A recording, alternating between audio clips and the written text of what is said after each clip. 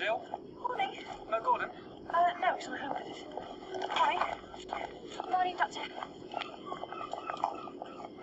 Still ill? No need to rush. Yeah, you don't want to be too early. Still a bit shy, isn't Yeah. No, I think it's time we did something to break the ice. Ah, this is the girl we need. Oh, yeah? We're going to have a bit of a laugh at the new student nurse. We need your help. I really think you ought to be in hospital. But if he says he wants to stay here, then he should, Edgar. Can't bear the pain, Mother. And, and neither can you. Not on your own. I can't be here all the time, can I? I, I do have to get home. He's in such agony, Gordon. I know. Which is why I'm going to start him on uh, regular injections of morphine. Morphine? But isn't that addictive? Well, I'm afraid that's hardly the issue, is it? Not now. Shall we go in?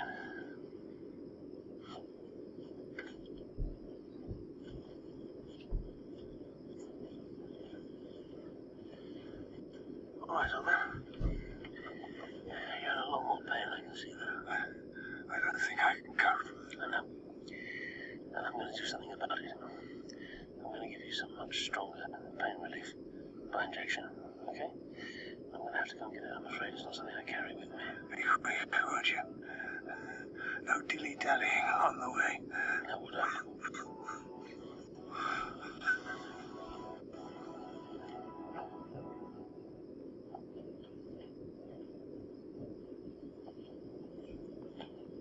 Sorry, Faye, I'm a bit behind.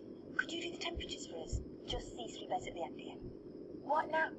Yeah, I'm filling the charts. Thanks.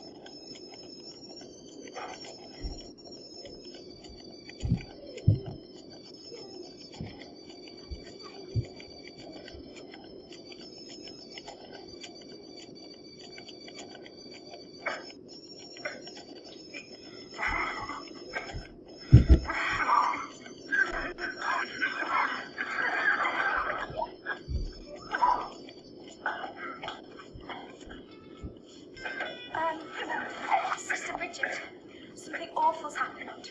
Well, Mr. Pierce's temperature is, is, is 110 and Mr. Livingston 108. Um, they must have caught some terrible infection or something.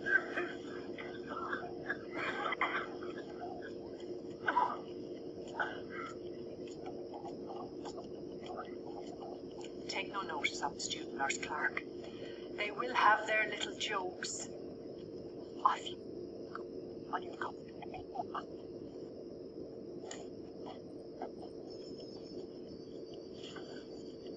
Can't you two see that she's shy? Elsinby Prison? Yes, and I'm looking forward to it. I've never been in a prison before. Well, I dare say, but what about your surgery here? Well, I'm dealing with that surgery. No, really, it's fine. It's an arrangement we've always had. We look after the prison when the other practice can't, is that so? Uh, yes, Dr. Leatherwell. And they help us out sometimes too. Thank you, Lizzie. Well, in that case, off you go, Dr. Ellis. Enjoy your morning. Haven't been first thing in the morning. I'm so sorry, I'm sorry. I don't know, sister. One day she attacks me with a suitcase. The next she pounds water all over me. Thoroughly dangerous young lady. What are you doing? You're supposed to be at your coffee break. I just, I was just going to wipe down the lockers. One or two looked a bit grubby, so I just. Uh, right. Better clean this up first. Yes. You didn't mind Jack's little joke, did you? Oh, no. No.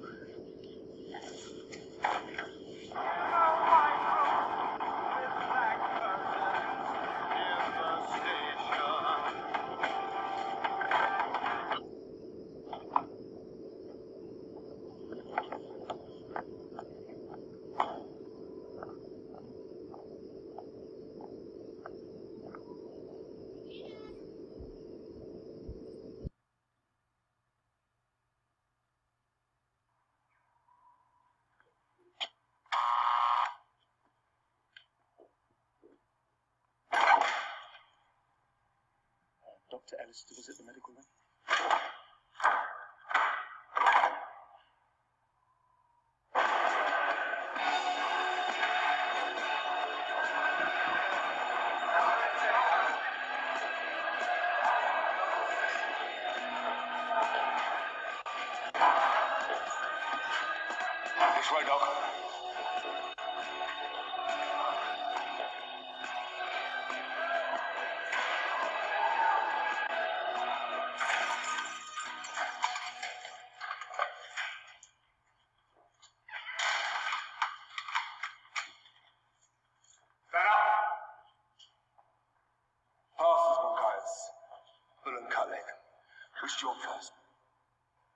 Let's look at the leg.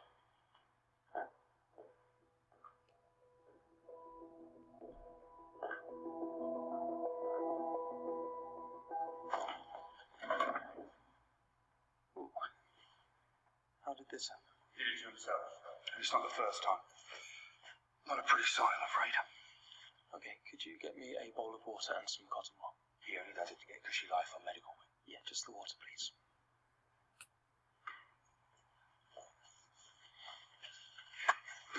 So, you did this, did you? Mr. Bullen, Hell on earth. that's what it's like. On here? Hmm. I can imagine. How long you been in? I'm only from Whitby. Right.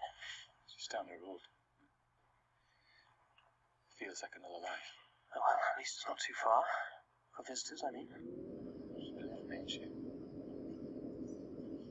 Is that your wife? And the kiddies. Don't know where they are. Thanks. It wasn't my fault what happened. Nothing ever is, is it? She will be. If she knew I'd lose my temper. Help me, please. Help me find her. That cut was deep enough to need stitches. He really meant it. I expect he did. And he's done this before. Yep. So how did you treat him the other times? How do you mean? Well, obviously, if he keeps on doing these sorts of things, he must be pretty depressed. Of course he is. He's in prison. Ain't supposed to be a picnic. Yeah, I do realise that. But Especially when you've been done for beating up your own wife. So bad. She lost her eyesight. is that what he did? Oh, that. I want more about spot depression if I were you. He deserves it. Okay, well, I'll pop in tomorrow, check on the stitches, see how he seems then. He'll seem how he wants to seem. It's all an act. You're new to prison life, ain't you, Doc? Don't let the blighters take you in.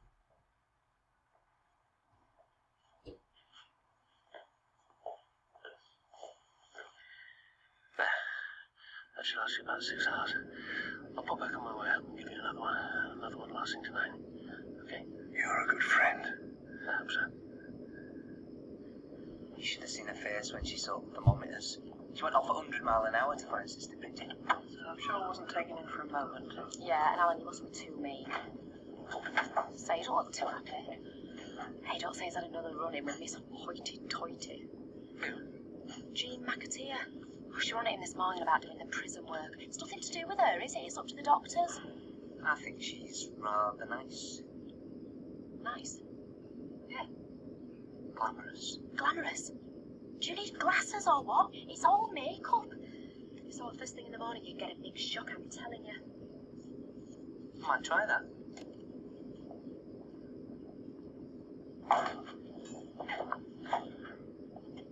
So, how did it go? Jill, what's the place? One of the prisoners seems very disturbed to me, but the medical orderly wasn't having any of it. He more or less said he was putting on. Well, you know, the staff get very hardened. You've seen it all before, haven't they? Ah, you're back. Yeah, sorry, it took longer than I thought. I see.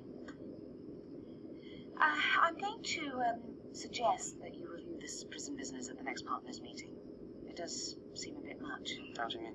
Well, that the prisons take priority over our own patients. Well, it depends on need, doesn't it? Not on whose patients they are.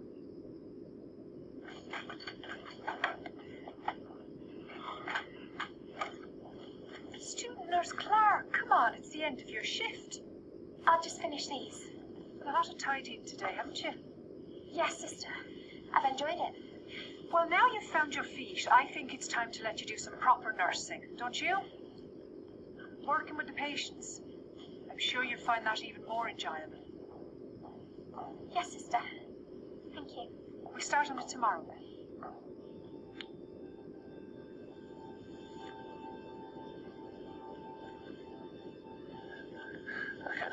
Shall we? How much longer have I got? Well, that's impossible to say. I won't be able to stand it. This will help you manage a while longer. No, I, I don't want to go on any longer.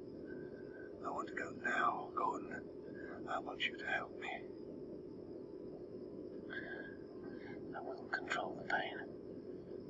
Whatever it takes. I won't let you suffer for it.